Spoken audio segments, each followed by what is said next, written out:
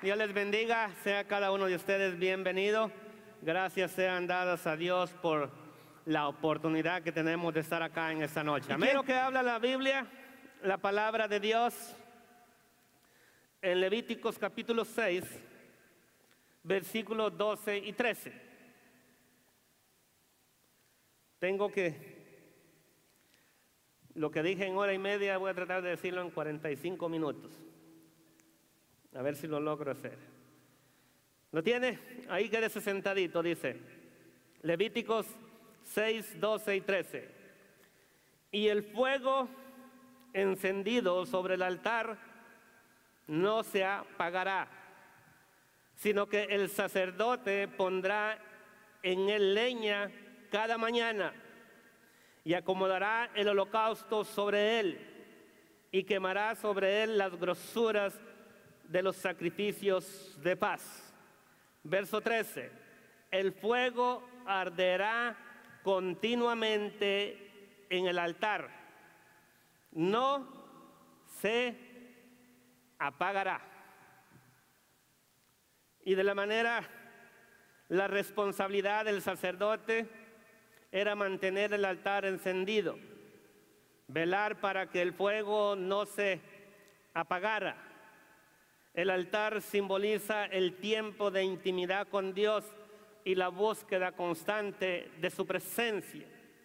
Y cuando lo empezamos a mirar de esta manera, cuando hablamos de que el, fuego debe arder, arder continuamente en el altar y que no se debe de apagar, está hablando también de nuestra vida espiritual, que no debemos de permitir como sacerdotes de Dios, cada uno de nosotros, somos reyes y sacerdotes, dicen, no debemos permitir que el fuego de Dios se apague, sino que debemos esforzarnos para poder mantener que el altar de Dios se mantenga, que el fuego de Dios se mantenga encendido, que nunca se apague.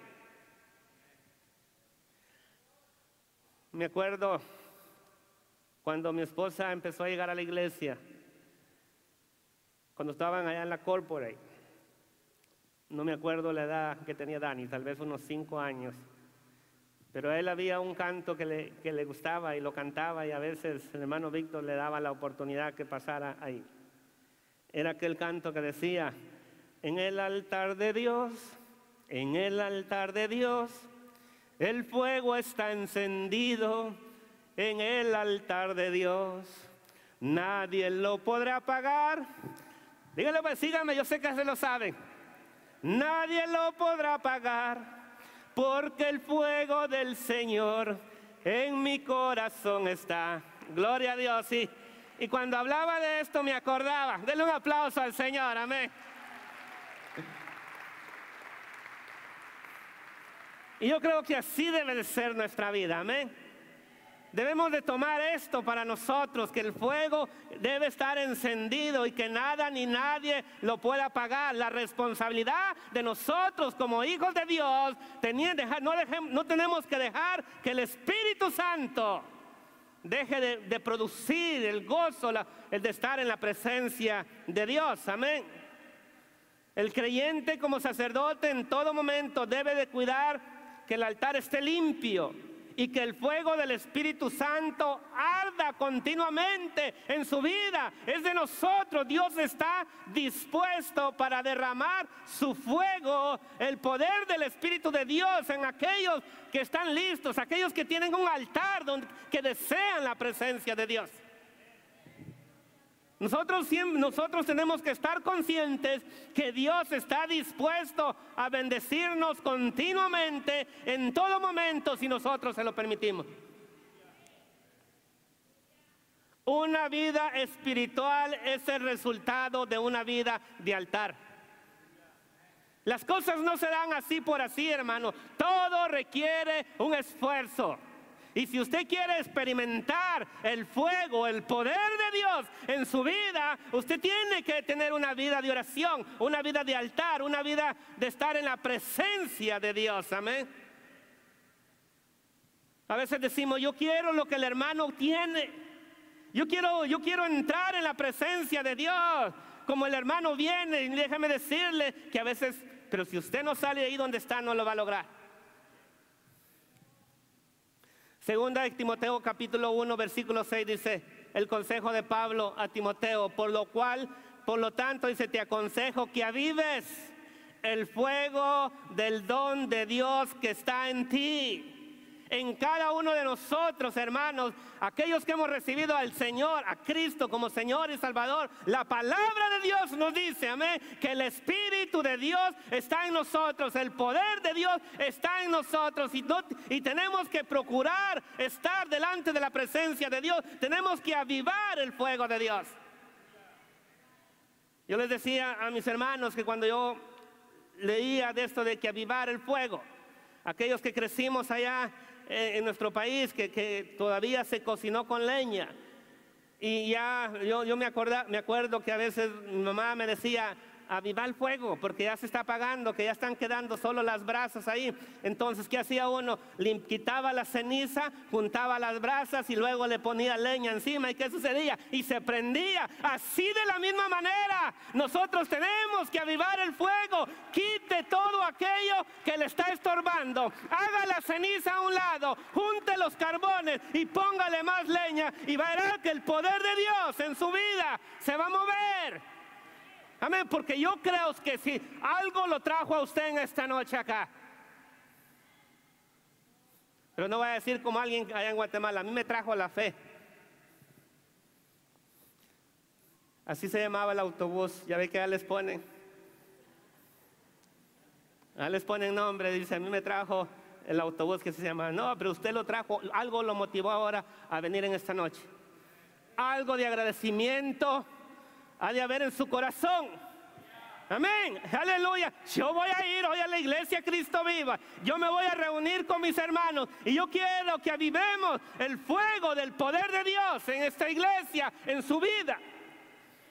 Porque le digo, al final de todo esto, el que los quienes somos bendecidos somos nosotros. Dios quiere bendecirte, Dios quiere que experimentes el poder de Dios en tu vida que salgamos en esta noche diferentes como entramos, que salgamos con el fuego, con el gozo, con el fruto del Espíritu Santo en nuestra vida. Como le digo, cada día debemos velar por el estado de nuestro altar. Todos los días. Y tenemos que permitir que el Espíritu Santo nos visite. Amén. Tenemos que darle lugar al Espíritu Santo. El altar es un lugar de encuentro.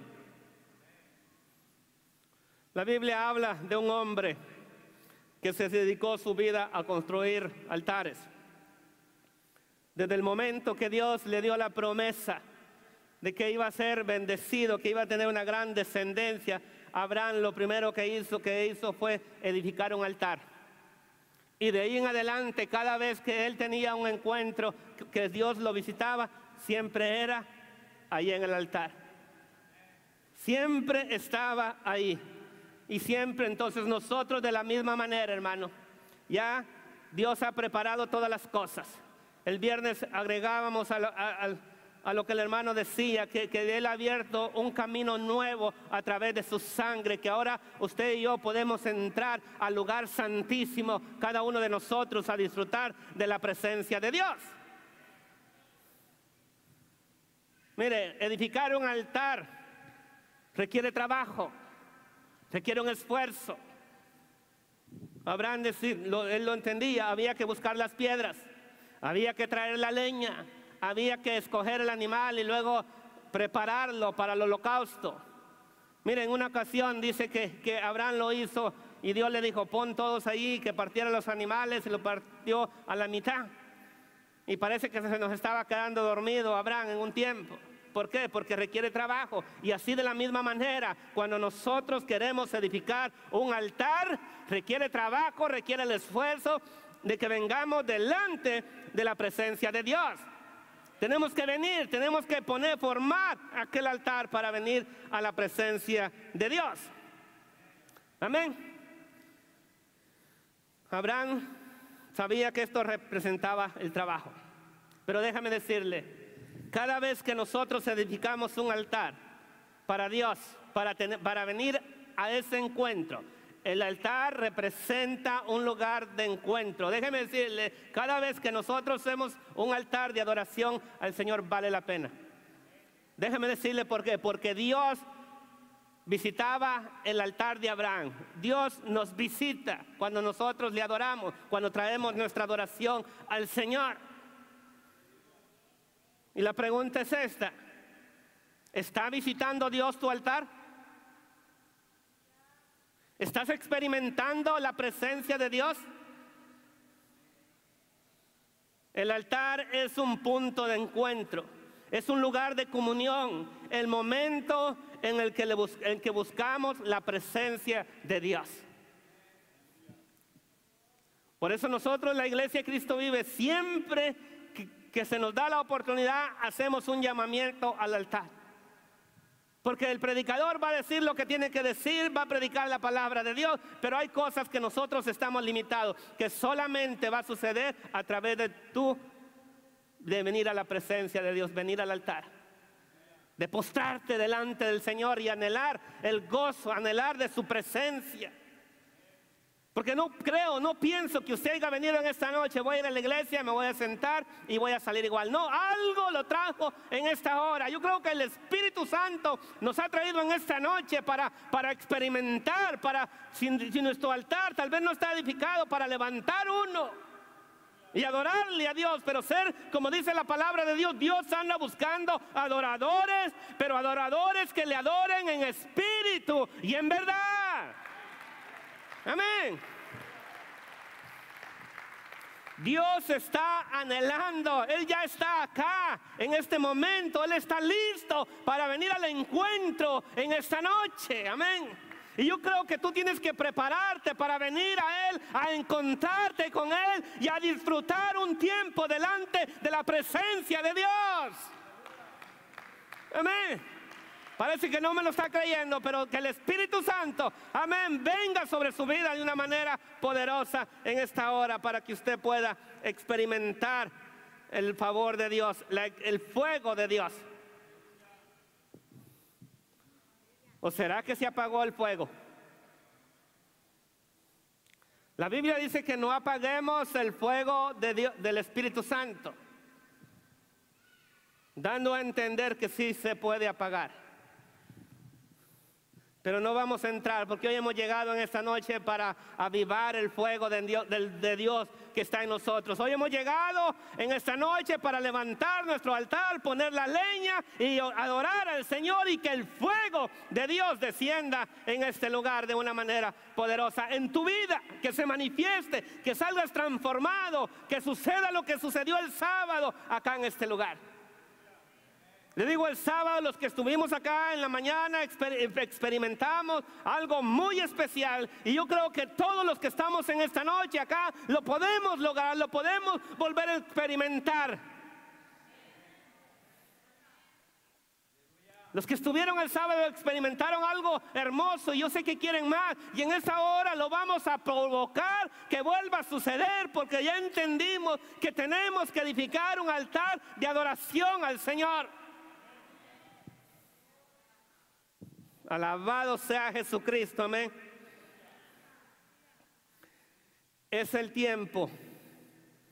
El altar, el tiempo de altar es el tiempo en que levantamos nuestra oración íntima a Él. Es cuando las manos se levantan en adoración. Es cuando decimos, Señor, no hay nadie más hermoso que tú. Tú eres el único Dios verdadero. Tú eres el que merece toda honra, toda alabanza, toda adoración. Tú eres grande, Señor. ¿Cómo no he de alabarte? ¿Cómo no he de bendecirte? Imagínese, piense por un momento la primera vez que, que Abraham experimentó que Dios le hablara. De una manera que dijo, Piense por un momento. ¿Qué experiencia? Es aquí, en el altar, hermanos. Es ahí donde nos arrodillamos, nos postramos. Es donde la gloria de Dios nos hace los cambios bien sustanciales en nuestra vida, es donde Dios nos cambia. Muchas veces, hermano, aquí en el altar, en suceden cosas maravillosas en nuestra vida. Es donde Dios viene y consume con su fuego, amén, aquellas cosas que necesitan ser quitadas de nosotros. Hay un canto que dice, consume con tu fuego aquello que hay en mí, aquello que no sirve. Señor, quítalo, consúmelo. Y sabemos cuando hablamos del fuego, estamos hablando del poder del Espíritu Santo. Señor, quita aquello que está estorbando. Aquello que me está deteniendo para yo entrar en tu presencia. Yo quiero alabarte, yo quiero bendecirte, yo quiero entrar en ese lugar santísimo y adorarte y tener ese mismo encuentro que tú quieres con cada uno de nosotros. Es en el altar donde el alma queda sumergida en un gozo, en una paz tan profunda que hay veces que no nos queremos levantar.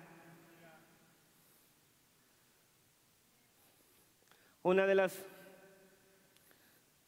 de las jóvenes que, que estaban acá el sábado, ella le tocó que trabajar y se tuvo que ir a su trabajo, pero ella sentía que el Señor no había terminado con ella.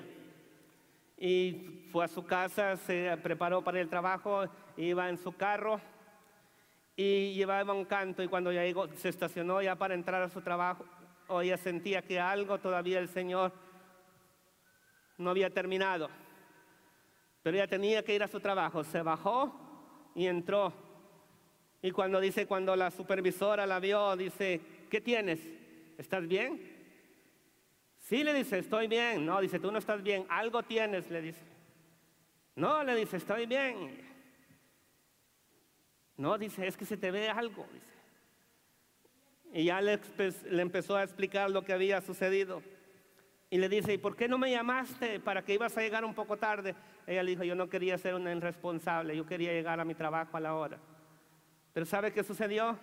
En aquella persona vio la condición de esta joven, dice que le dijo, mira, entra, métete a mi oficina, apaga la música y enciérrate ahí. Y lo que Dios no pudo terminar acá, allá lo hizo en el trabajo de esta muchacha. ¿Cómo es Dios? Ese es el, eso es cuando, cuando levantamos un altar y permitimos que el poder de Dios, que el fuego se, se encienda dentro de nosotros y es algo que no se puede apagar tan fácilmente. Es algo que lo anhelamos y sentimos que algo constante y es lo que anhelamos y es lo que cada uno de nosotros debíamos de anhelar, estar en la presencia de Dios. Amén. Es ahí en el, altar donde verdaderamente somos transformados. ¿Cuántos de los que están aquí anhelan, pero anhelan de la presencia de Dios? Pues le vamos a pedir a Dios. Hay que pedirle a Dios que ese fuego arda continuamente en nuestro corazón. Amén. Le tenemos que decir, usted y yo le tenemos que decir al Señor, dígale, ven, fuego de Dios, consúmeme. Amén. Queremos ver tu gloria, queremos ver tu poder, aleluya, a través de la adoración. Porque la Biblia dice, hermano, que Él se mueve en medio de la alabanza, en medio de la adoración de su pueblo. Que donde estamos dos o tres reunidos en su nombre, allí está Él. Amén. Yo le decía a los hermanos, imagínense lo que está sucediendo acá con estos que estamos acá. Si la iglesia, cada uno individualmente levantara un altar de adoración al Señor, les aseguro que sucedería lo que sucedió en el día de Pentecostés. Este lugar temblara, este lugar de la presencia de Dios. Aleluya. Dele la gloria al Señor, amén.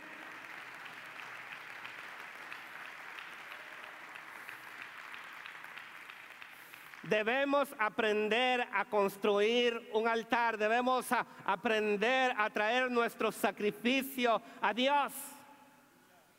La Biblia dice que se ofrecía un sacrificio en el altar y lo primero que se hacía era, era tomar, buscar el animal que, que cumplía las características. Luego dice que se lo llevaba al altar y luego lo ataban y después lo desgollaban Y para que el fuego penetrara hasta las entrañas, dice que lo cortaban y lo abrían a la mitad y luego lo ponían bajo la, encima de la leña.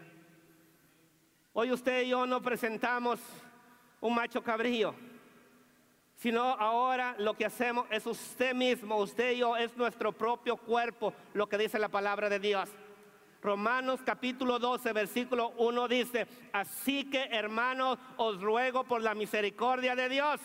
Oiga esto, que presentéis vuestros cuerpos en sacrificio vivo, santo, agradable a Dios, porque esto es vuestro culto racional. Ahora usted y yo tenemos que venir a la presencia de Dios y decirle, Señor, aquí estoy. Aleluya, haz lo que vas a hacer en mi vida. Recíbeme, aleluya, como un olor grato delante de tu presencia. Yo quiero ser agradable delante de ti. Es allí, en el altar, donde nos ofrecemos como un sacrificio a Dios.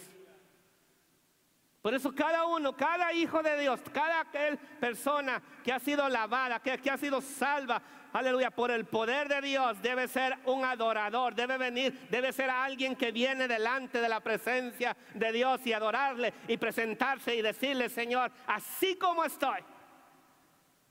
Ahora usted y yo somos un sacrificio perfecto. ¿Sabe por qué? Porque hemos sido justificados por medio de la sangre de nuestro Señor Jesucristo. Hay un velo que nos cubre nuestro pecado. El Señor se, aleluya, se agrada de que nosotros vengamos delante de su presencia. Ahora ya no es con la sangre de los machos cabrillos, ahora es con la sangre de Jesucristo que venimos delante de la presencia de Dios. Aleluya. Uh, gloria a Dios, amén. Es en el altar donde reconocemos nuestras insuficiencias y dejamos a sus pies la soberbia, el orgullo y la arrogancia. Acá en el altar.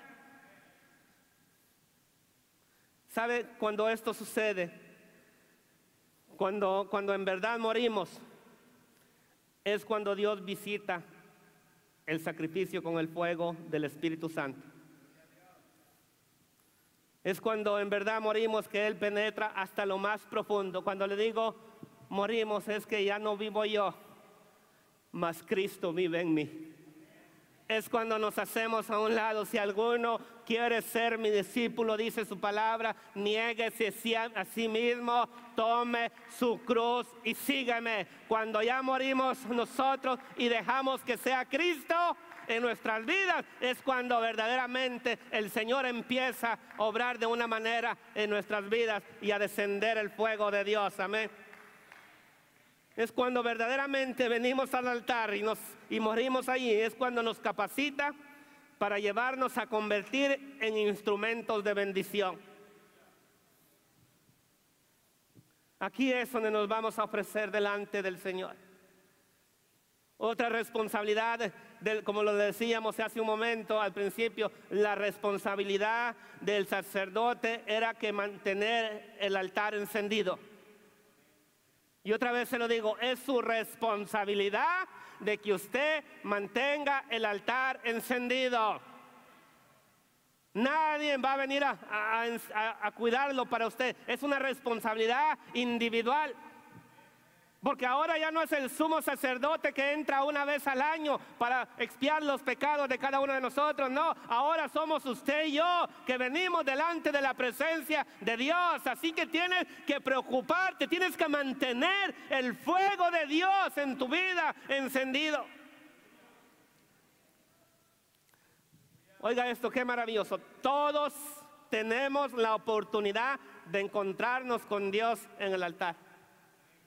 Todos, todos podemos entrar al lugar santísimo. Crea esa verdad. Eso es para usted, para mí. Todos podemos venir delante de la presencia de Dios. Todos aquellos que hemos sido redimidos, todos aquellos que hemos sido limpiados, podemos entrar delante de la presencia de Dios. Y podemos hacerlo cuando hay problemas y cuando las cosas están bien. Déjeme decirles, siempre hay un primer altar. Siempre hay una primera oportunidad, hay, hay un altar que marca el inicio de una etapa.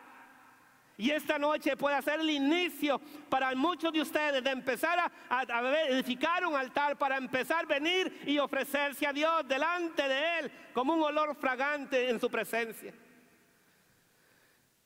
Siempre hay un primer altar que hace los cambios en nuestros corazones. Pero ¿sabe qué sucede? Que luego hay que continuar nuestra intimidad con Dios a través de muchos momentos de comunión. Esto no es de una sola vez, esto es de continuar hacia adelante, esto es de seguir hacia adelante en todo momento. Hay que esforzarnos, hay que darle la gloria a Dios. Usted tiene la oportunidad en esta noche. El altar marca un antes y un después. Cuando, cuando venimos al altar nos encontramos vivos. Luego de haber pasado por él, si la experiencia fue verdadera, deberíamos estar muertos. Ahí es cuando aprendemos a someternos a la soberanía de Dios. Allí es cuando aprendemos y manifestamos nuestra total dependencia de Dios. Es en esos momentos cuando asimilamos una nueva manera de vivir la vida. Y nuestra boca puede confesar, tú eres mi Dios, tú eres mi salvación, tú eres mi pronto auxilio. Tú eres mi fortaleza. Es allí en esos momentos. Luego, le puedes decir ahí mismo. Es ahí donde le decimos al Señor, no se haga mi voluntad. No se cumplan mis anhelos, no se cumplan mis deseos, sino que se cumpla, Señor, tu propósito en mi vida. Miren, no hay mejor ofrenda más hermosa o más preciada para Dios que una vida que se rinde en el altar. La Biblia dice que un corazón contrito y humillado, dice, Él jamás va a despreciar. Solo, oiga esto, solo un corazón humillado, solamente un corazón humillado atrae la presencia de Dios. Porque la Biblia dice que al altivo el Señor lo mira de lejos. Pero que al que se humilla Dios lo exalta. Es en el altar donde nos entregamos por completo, donde dejamos que Dios nos inunde con su presencia.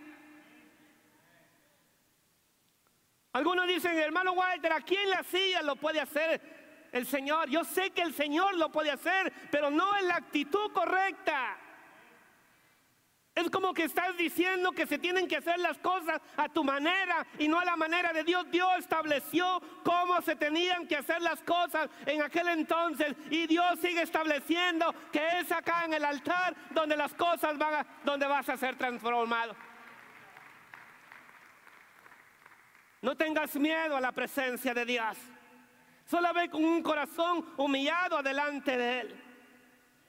Mire, cuando las malas actitudes son puestas sobre el altar, cuando no ocultamos nuestra miseria, sino que le dejamos expuesta ante Dios, es cuando Dios verdaderamente, Dios toma la rienda de nuestra vida.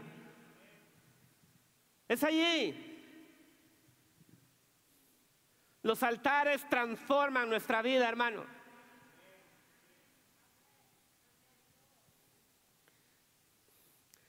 El, el estado en que se encuentra el altar refleja el estado en que se encuentran nuestras vidas espirituales.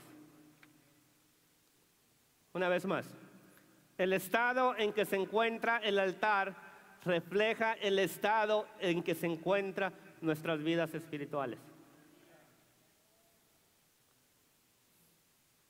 El estado en que el pueblo de Israel se había se hallaba a lo largo del Antiguo Testamento siempre era un reflejo del estado en que se encontraba el altar.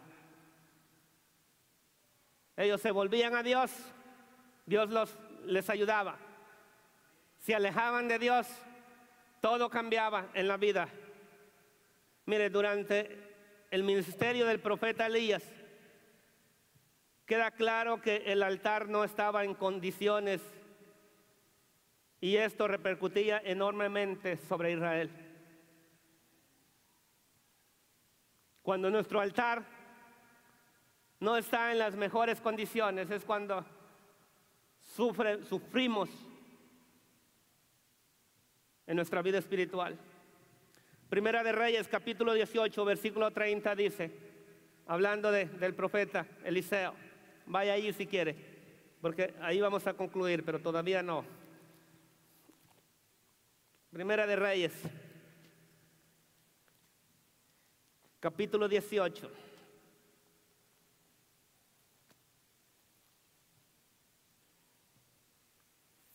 Dice la Biblia, entonces dijo Elías a todo el pueblo, acercaos a mí. Y todo el pueblo se le acercó y él arregló el altar de Jehová que estaba, ¿qué dice? Arruinado. Escuche esto. Elías, antes de levantar su voz para, para clamar a Dios, lo primero que hizo, la primera decisión que tomó fue la que correspondía al el arreglo del altar. Arregló el altar antes de clamar a Dios. El pueblo de Israel había perdido la dirección y Elías les mostró el camino el que deberían regresar. La senda para restaurar comienza en la reparación del altar. Al parecer en ese tiempo como que a nadie le importaba el altar de Dios. Estaba abandonado. No les interesaba venir al altar. Ellos estaban de una manera, se habían vuelto a la idolatría. Allí es cuando Elías hace el reta a, los 800 profetas y les dice, tomen ustedes un buey y yo también voy a tomar uno. Y el Dios que responda con fuego, ese será nuestro Dios. Dice que los profetas de Baal agarraron su buey, lo hicieron pedazos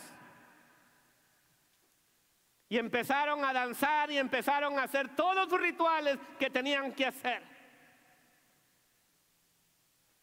Y el profeta se burlaba de él y les gritaba, despertarle, tal vez está durmiendo.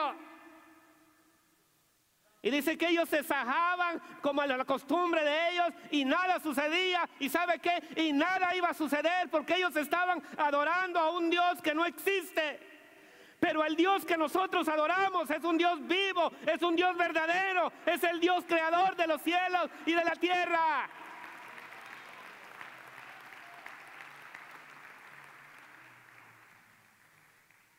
El, altar estaba abandonado. Esta era la causa principal de la gran decadencia del pueblo de Israel. Y es de la misma manera, del mismo modo lo que sucede en nuestras vidas. Si abandonamos el altar, si abandonamos el encuentro con Dios, si, abandonamos el morir cada día a nosotros,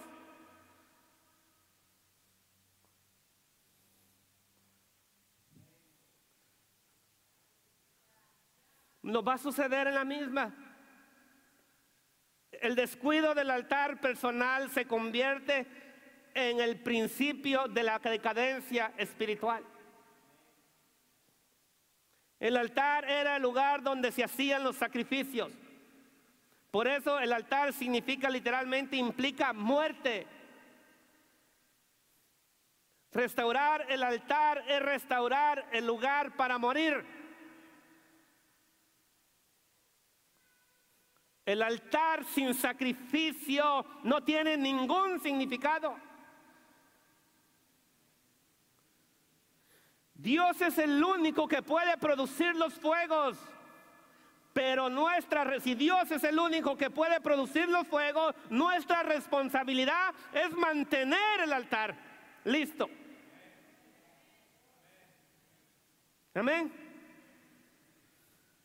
Piense por un momento, imagínese, por ilustrarlo de una manera, que, que Dios ande ya deseoso. ¿Dónde, dónde, dónde deposito el fuego del Espíritu Santo? ¿Dónde? Él anda buscando altares. Pero si no encuentra dónde, dónde. Por eso usted tiene que tener listo su altar para que cuando Dios mire su altar, ¡pum! caiga la presencia de Dios en su vida. Venga con poder sobre su vida y su vida sea tocada, transformada y usted salga victorioso en esta hora.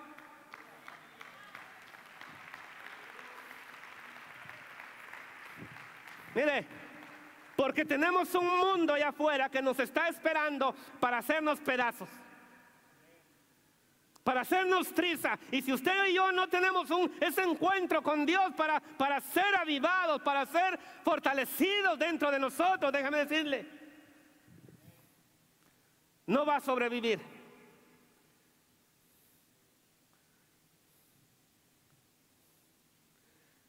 El altar sin sacrificio carecía de significado.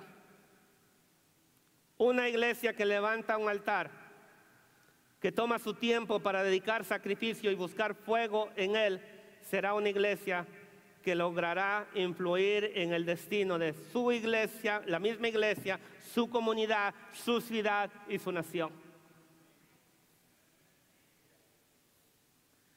Esto hizo el altar de Elías y ese es el desafío de Dios para nosotros. Levantar altares poderosos que transformen la iglesia. Que seamos una iglesia que, dependa del poder de Dios. Pero que seamos una iglesia que edifiquemos altares de adoración a nuestro Dios. Mire, siempre que hay sacrificio, Dios se compromete a visitar ese altar con la presencia de Dios. Nuestra responsabilidad es entonces que no falte el sacrificio y Dios visitará el altar. Todavía tienen ahí Primera de Reyes capítulo 18, versículo 30 en adelante. Vaya poniéndose de pie. Vayan pasando los hermanos del Ministerio de la Alabanza. Quiero terminar ahí en ese pasaje. Entonces dijo Elías a todo el pueblo, acercaos a mí, y todo el pueblo se le acercó, y él arregló el altar de Jehová que estaba arruinado. Y tomando Elías doce piedras, conforme al número de las tribus de los hijos de Jacob, el cual había sido dada palabra de Jehová diciendo, Israel será tu nombre. Edificó con las piedras un altar en el nombre de Jehová. Después hizo una zanja alrededor del altar en la que pusieron dos medidas de grano. Oiga esto, preparó luego la leña y cortó el buey en pedazos y lo puso sobre la leña y dijo, llenad cuatro cántaros de agua y derramadla sobre el holocausto y sobre la leña. Y dijo, haced es, hacerlo otra vez. Y otra vez lo hicieron. Y dijo aún más, hacedlo la tercera vez. Y lo hicieron la tercera vez. De manera que el agua corría alrededor del altar y también se había llenado de agua la sangre. Y el versículo que sigue, oiga lo que dice. Lo quiero aplicar de esta manera. Todo tiene su tiempo. Todo tiene un momento. Aquí el desarrollo de, este, de este, culto a Dios, de, de nuestra reunión, es llegar a hacer una, una bienvenida, una lectura bíblica, cantos, se ora por los, las ofrendas, se predica la palabra de Dios y hay un momento de altar. Algo que encuentro en este versículo que vamos a leer es esto. que Elías no sacrificó el buey a cualquier hora, sino que allí estaba, ellos sabían a la hora que era el sacrificio de la tarde. Y aquí es cuando dice, cuando llega el momento, por eso usted y yo tenemos que estar atentos al llamamiento al altar. Y es en el momento de, altar, es cuando, cuando ofrecemos, cuando venimos y nos entregamos y entramos delante de la presencia del Señor. Y venimos humillados delante de Él. Porque dice, verso, versículo 36 dice, cuando llegó la hora de qué? De ofrecer el holocausto. Se acercó el profeta Elías y dijo, Jehová, Dios de Abraham de Isaac, de Israel, sea hoy manifiesto que tú eres Dios en Israel y que yo soy tu siervo y que por mandato tuyo he hecho todas estas cosas. Porque parece algo, algo de locura, ¿sí o no? Hacer un altar para prenderle fuego, poner la leña, hacer una zanja, poner el animal ya hecho pedazos y ahora échenle agua.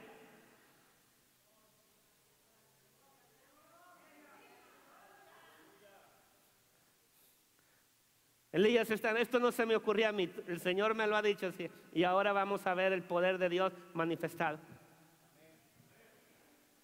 Que aún en, aún en esa leña, aún en esa, en esa zanja llena de agua, el poder de Dios, el fuego de Dios, aleluya, va a descender. Porque donde hay un altar, porque donde hay sacrificio, Dios envía su fuego para consumir el sacrificio. Y eso es lo que Dios quiere en esta noche. Si tú traes sacrificio al altar, Dios va a descender con fuego, aleluya, del poder del Espíritu Santo en tu vida. Tienes que venir a la presencia de Dios. Tienes que venir al altar. Y, y ofrecerte.